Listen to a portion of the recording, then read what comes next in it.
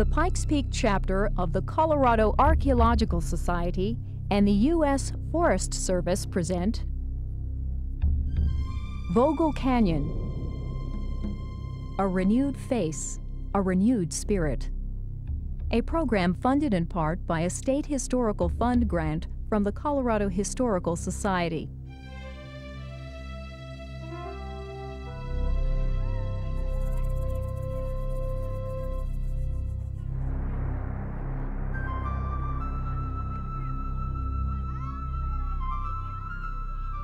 It's the beginning of a new era at Vogel Canyon in southeastern Colorado. A time of rejuvenation and renewed respect for the land and the stories it contains. These fifth grade students from West Elementary School in La Junta are the first group to experience the results of a 10 year effort to revitalize the canyon.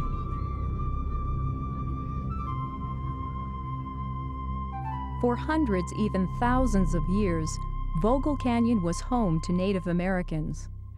Through time, different cultures were drawn to the canyon's reliable water sources and to the wildlife and trees which also depended on that water. As each group moved on, they left behind the remnants of tools and remains of their homes. Later, explorers, traders, and homesteaders visited the canyon, drawn to the same reliable water sources on which Native Americans had depended. Traces of these later groups are revealed nearby on the Santa Fe Trail and through the partially remaining stone walls of early homesteads above the canyon. From prehistoric to historic times, canyon dwellers recorded parts of their lives on its sheltering walls. Through carvings and drawings, they left messages for future travelers and they marked significant events, people, and places. Eventually, this record of the past became an integral part of the canyon itself.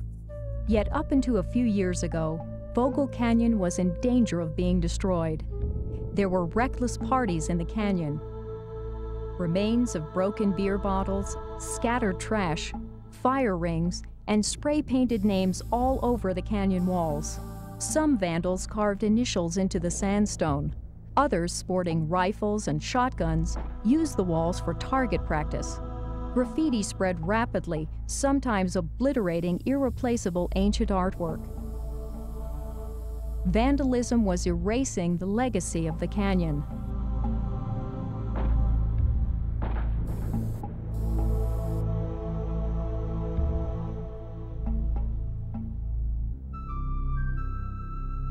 The United States government acquired Vogel Canyon in 1937 to control soil erosion caused by the Dust Bowl.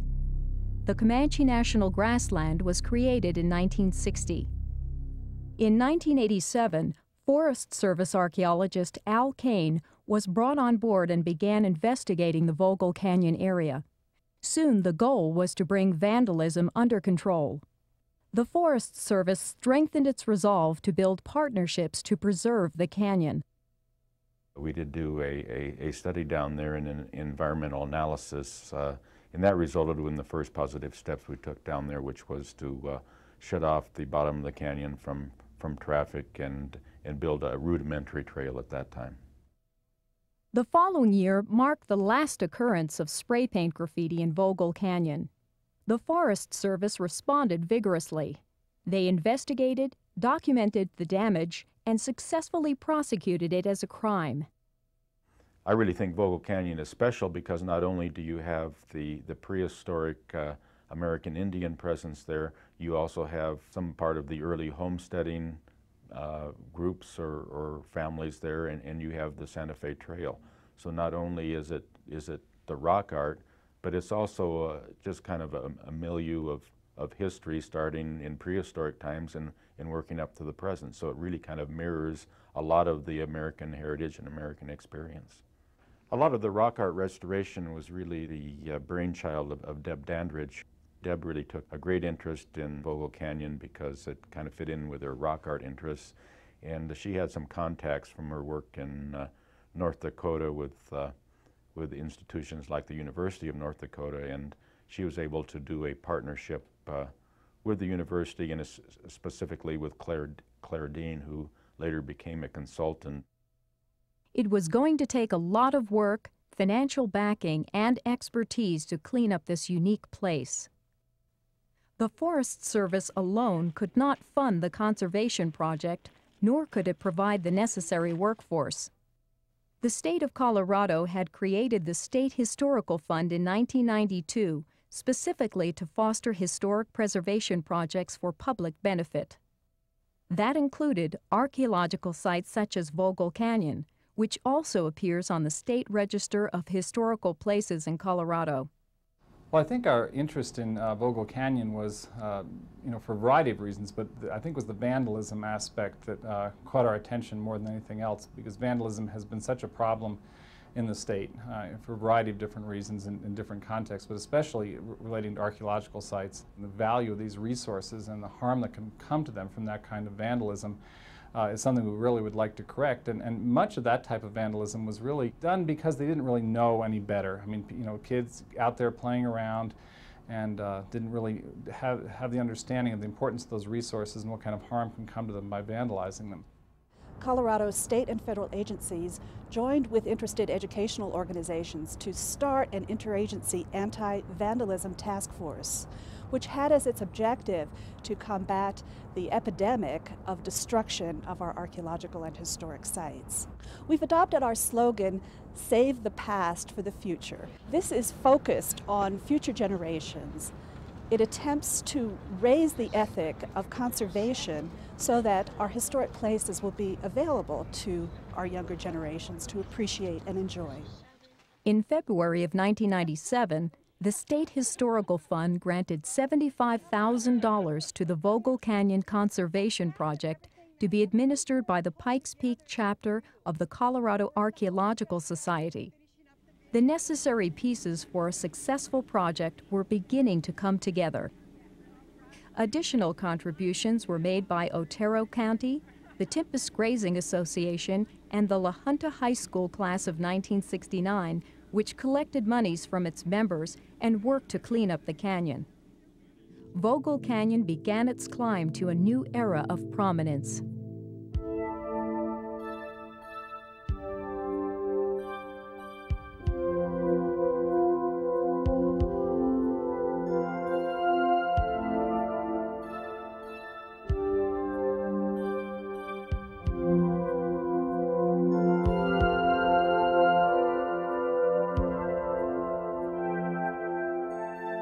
Rock art conservator Claire Dean came to the canyon in the early 90s and began the slow process of identifying ways to remove the various types of graffiti that marred the canyon's walls.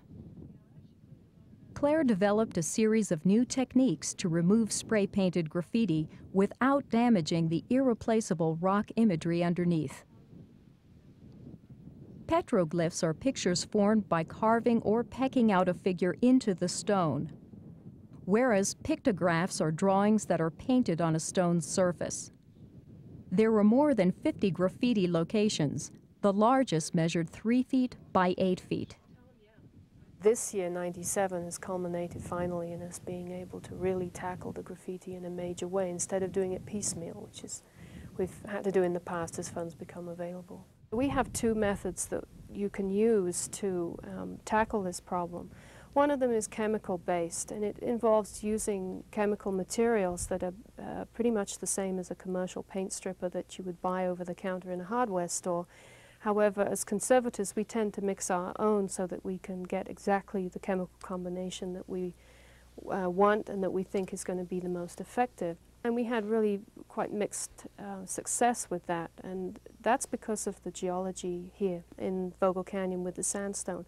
It produces uh, a mineral deposit on the surface very rapidly, which effectively seals in the sp spray paint and fixes it onto the rock. When chemical paint removing methods don't work, we have to resort to using mechanical systems for removal. The method that I've been using here is something called an abrasive system, which is similar in many ways to sandblasting in that it uses compressed air to deliver an abrasive powder. However, the pressure that is used is much, much lower than in a commercial unit. Uh, we're talking of a maximum of around 40 pounds per square inch pressure for, for the airflow. Um, and the abrasive powder that's used is extremely fine and much softer than a commercial grit. Uh, the powder itself is somewhere around 34, 35 micron, which um, is something similar to powdered sugar. So it feels like coarse powdered sugar rather than sand. Because it's delivered at a lower pressure and the grit itself is very fine and is softer than uh, commercial sand grit, it is more gentle on the surface and more controllable. So we have a better chance of rem only removing the paint and not damaging surfaces underneath. We have some examples here of very deeply carved or incised graffiti um, on a number of the sites. The question, of course, is what do we do with these? The fill material that Claire had created for other rock art sites could not work here. There was not enough rock surface for it to cling onto. The fill would be subjected to hot and cold temperatures, weathering the color of the fill so that it would no longer match the color of the rock. Luckily, vegetation shielded the graffiti from view. Claire faced other challenges scratch graffiti, petroglyphs that had been outlined in chalk, gunshot damage, bullet holes. This is one of the most extreme here. Um, you can see how deep this is. This is the surface out here, and my fingers are weighed back in there, so that's probably a couple of inches in depth. Unfortunately, nothing can be done to repair this. The same is true of the chalk outlines that some people use to enhance petroglyphs. The chalk doesn't wash off. It tends to cling to the stone and with time becomes mineralized and won't brush off. Um, that chalk that you can see around the Elk there is extremely hard and has in effect become part of the rock. Chalking is also considered vandalism and is prosecutable by law. For scratch graffiti, Claire mixed and matched paints with the color of the rock, then applied it. The idea isn't to cover it completely, but to break it up so that visually it's not so obvious unless you're really on top of it. Claire continued the very slow and painstaking process of removing graffiti from the 50 or so locations, often working on an inch at a time, and often working alone from dawn until dusk during the summer and fall of 1997. After almost 10 years from the first day that she stepped into the canyon and saw the destruction there, Claire Dean completed her mission in September of 1997. The next step, modifying the existing hiking trails to further protect the canyon walls.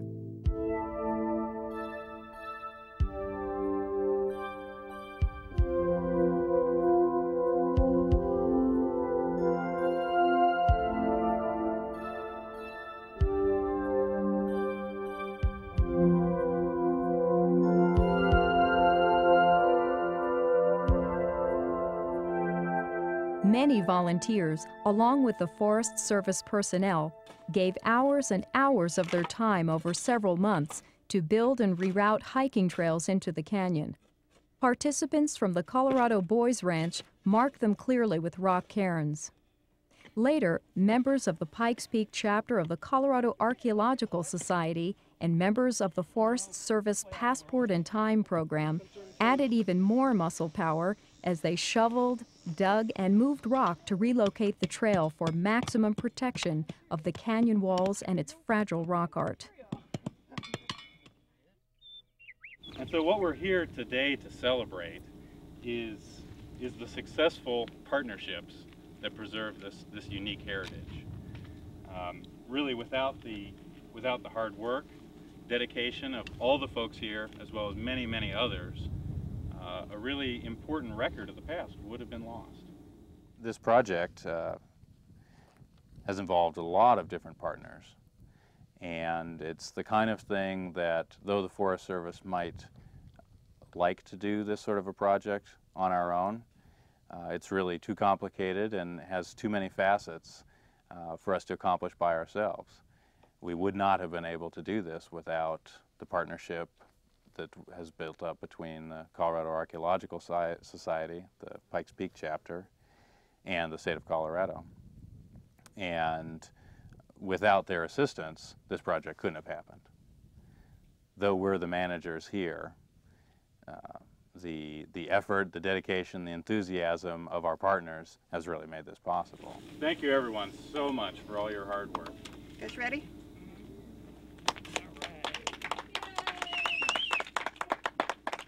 Very good. So should we go take a look at it? The most important thing that we learned was that um, we can work together, that the public and the uh, private sectors can work together for a goal and to achieve something like what we've achieved down in the canyon is just amazing. And I think that this is probably um, the way of the future. The whole community of La Junta, Colorado has taken um, this project in this canyon as their own and I've seen now a lot more community support. Even if I come down here on the weekend, I'll see people from the community down here just walking around and looking at the rock art. And you always hear the comments about how nice it is and how everything's looking. And I can take a lot of pride in that. Look, uh, look at the smiley part and then let your eyes follow around to the top and see how it's actually a circle. Oh, You see that? See it right there? And you see how there's lines through the center of the, squ- The center bo- of the circle? At circle? the bottom, go down. At the, That's a shield figure. oh, Mhm. see, Like the kind of a just big shield that a, a warrior might hide behind. look, see, it- What do you think the circles are? Those big circle things. Chris? they're, they were probably sandblasted. Mrs. Russell? Somebody stood over on the other side of that draw over there on the um, on those rocks with a high-powered rifle and shot at this. What do you bet? What, what does it do to the petroglyphs, Brandon? It it messes it up. It ruins it. It takes away the meaning. Yeah, it does take away meaning. Takes away a lot of their meaning. We want to make future generations preservationists, so we won't have vandalism like this in years to come. They will just naturally understand the importance of preserving resources. Apparently, these children understood the message as they voluntarily picked up broken glass in the canyon. Children are the key to this. Our younger generations do not seem to be quite so ignorant about their history, and they seem to have a higher level of awareness of both their natural and cultural environment. We feel that at Vogel Canyon there has been a wonderful change from local apathy to local stewardship, where young children travel to the canyon today in the company of their school teachers. Children today now obviously care for it and recognize that it is something that they share a mutual responsibility for. What makes the, the Vogel Canyon project special to me is really what makes the grasslands special to me. And that is that most of the recreational opportunities available on the grasslands involve heritage sites, and they involve prehistoric and historic archaeological sites. People come to the grasslands to learn about history. That's an important part of, of their visit here, from prehistoric rock art to remains of the Santa Fe Trail. One thing that I think is special about uh, Forest Service lands, and, and one really fantastic opportunity we have, is to provide people with, with an authentic experience of the past. Uh, as part of the TV culture, we're bombarded by images of Native Americans, images of the Wild West, images of westward expansion, and these are really, in many ways, stereotypes. And here, on National Forest System lands, in Vogel Canyon, we have the real thing. That real thing was preserved through hard work, cooperation between public and private partners, and the financial backing of many individuals and organizations. Vandalism has now been significantly reduced. Educational programs are in place to teach people about the importance of the canyon's archaeological and historical resources. An interpretive program including signs along the trails is complete. Visitors can read about and explore the stories of this unusual place. A place that contains hundreds of years of lifestyles and cultures from prehistoric to historic peoples, all recorded on the canyon's walls. A renewed face gives Vogel Canyon a renewed spirit.